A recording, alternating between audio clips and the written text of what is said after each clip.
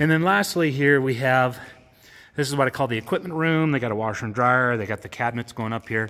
And we're gonna have electrical and all the cables through the entire house. I have a few more rooms I haven't showed you yet that I'm running. Um, and again, I recommend you know three Cat six and one coax cable to each room in the house. Um, these these outlets here are all going to be inside the cabinet. And again, I left plenty of space. Um, in fact, I'll, I'll, you know, guaranteed I'm going to end up shortening a lot of these when I do the final install and terminating the ends. But it's always easier to go longer than to go short, too short, and then you have a problem. But again, notice that I zip tied each bundle, and one bundle is Cat 6, the other bundle is uh, RG6 coax. Plus, I've color coded them for each room. Now, I'm, i know I'm sure there's there's fancy labelers and all that, and I'll take care of that when I do the final install. But each room has its own color. So I've got red, green, blue, silver, so on and so forth. But I've, I've not only colored it at the ends, when you can't really see it because all the colors are facing the wrong way, but I've also colored it up by where the outlets are. So if for some reason these get clipped, you do have colors up here and you can easily, and plus, you know, I've, I've written down you know, like upstairs or whatever, uh, what room. So I've kind of been a little bit overkill, a little bit too redundant. Now, see here, you can see some colors. But, you know, I, I do everything overkill, but because of that, um, I've never had an issue. So, and then up here, I've got cables zip tied out of the way, as far away from the AC cables as possible.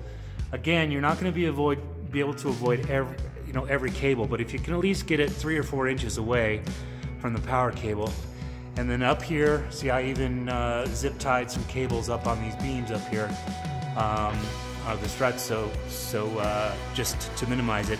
And then pretty much every run to every room in the house, including there's a room upstairs, I have run it uh, as far away as possible uh, from the electric, and and in places where I had to cross electrical lines, if possible, I was able to zip tie them up on the supports and get these cables up out of the way.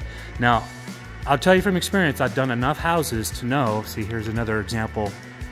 See, I have that cable right there, zip tied up on that beam, and it's a good, you know, six inches above that electric cable that's running uh, in the screen here, up and down. Um, but I can tell you from experience, by doing this and taking the extra time to do this, you can almost guarantee that you're not going to have any interference. You're going to have a clean signal via via speaker wire or uh, uh, Cat 6 or, or, coax. Coax is not as critical because coax wire is pretty well shielded. But I do recommend buying really good quality, you know, buy the best you can afford.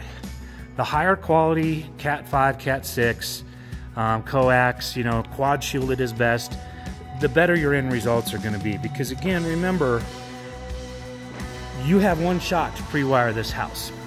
And once the sheetrock is up and the insulation is in and all that, if you have an issue, it is a major pain in the butt. Trust me. It, I've been there. It's a headache having to crawl in the attic with all the insulation, try to find your wires, trying to figure out where the problem is. Um, and it could be something as simple as you've got a wire too close to a, a major electrical wire and you're getting some kind of feedback off it. So here again in this room, this is the master bedroom. We're going to be putting a 43 inch Samsung The Frame TV uh, on this wall.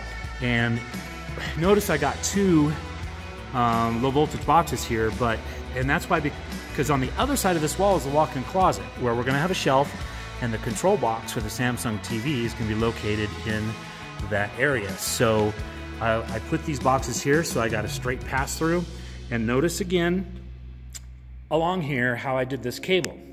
I've got them zip tied and then I've also got this loose zip tie down here to help keep the cable in the wall so when the sheetrockers come in, there's no cable sticking out that they're gonna pinch the sheetrock to. So I'm trying to keep it, uh, you know, do as much as possible up front. And again, there's the color code blue.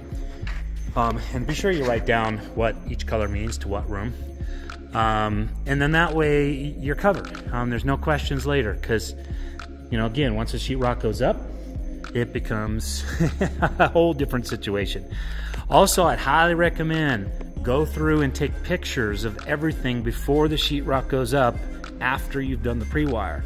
That way, when the sheetrock is up and the insulation's done and you're looking at your wall and you're scratching your head going, okay, what did I do here? Uh, how many cables did I run? Um, how, you know, if you start to like yank on this cable here, like I, you know, all I have to do is snip that uh, zip tie there and just grab these cables and pull them through the other side. But if the cable gets stuck, you can refer to your pictures later and figure out, oh, okay, this might be an issue.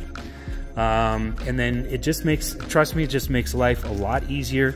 So here, I'll give you a view from behind. This is the, the living room TV of how I got this conduit run. And then those are all my cabling and everything. And I really, really took special care to make sure. Now notice there's a power wire there, but I did put the power wire on the right side of the conduit. And I'm tucking the, the Cat 6 uh, coax cable on the, on the right side, but it is behind this low voltage box, so there's no chance of it getting pinched. But, you know, doing little, uh, taking extra precautions and doing little steps like this will greatly increase your odds of a clean install when everything is all done. So um, little chance of of issues uh, with noise or whatever. I did also run a coax cable to that side there because the customer was planning on uh, having satellite TV, so it makes it much easier for the installers because they're going to slap a dish on the wall. I've got the coax cable running through the wall right there with about 10, 10 feet of excess on the outside. Again, coil that up and zip tie it. Don't coil it too tightly. There's always a risk that you can mess up the coax. But if you buy a really good quality coax, especially in bulk, I don't recommend going to Home Depot and buying a 100 foot length for 30 bucks. You know, I buy my rolls in 1,000 foot lengths, which realistically you will need, um, especially if you're pre-wiring an entire house.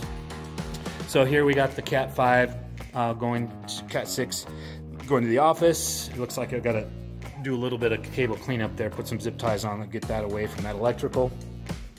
But here, I ran a coax cable for to the outside with about 10 feet of excess, and this is for the incoming internet.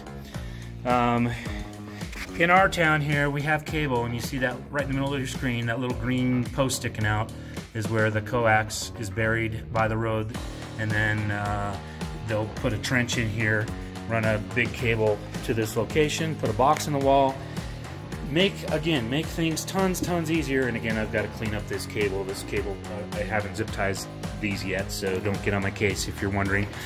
Um, all the cables from all the rooms run to that one location with the exception of the theater room and the speaker wire. Um, just makes it so easy because uh, we have a uh, we also have a cable running to the roof. We're going to put an outside antenna on it. Um, since all the cables run to this one spot, it just makes it super simple to feed off your internet coming in because that's where the router um, and modem will, will, exist and then maybe a switch, well obviously a switch because we have a bunch of uh, Cat6 cables. Um, if you're going to distribute sat or uh, antenna to all the rooms, you can put a power distribution block there go out to all the rooms. It just makes it super, super simple. So, um, running again, running everything to one location. You know, if you're going to be doing whole house audio and you got speakers all over the place, having your um, whole house distribution amplifier and all the speaker cables coming to one location again makes it much, much easier. So I know this is a long video, I apologize, but uh, you know, I, want to try to give you the best information I can um, to help you guys out if you're doing this job on your own. If you have any questions, just reach out to me and I'll be happy to help. Um, if you like what you saw today, please subscribe and uh, give me a big thumbs up. That definitely helps my channel. YouTube is getting kind of sticky about posting my video out there if nobody's uh, commenting or or giving me a thumbs up. So, and this this gentleman has a beautiful view, as you can tell. We're out here in Utah, and I mean, Look at this patio. I mean, can you imagine sitting out here every morning, cup of coffee or whatever, view like that? All right, guys. Well, this is it for this video. So thanks for watching. And until next time, keep dreaming.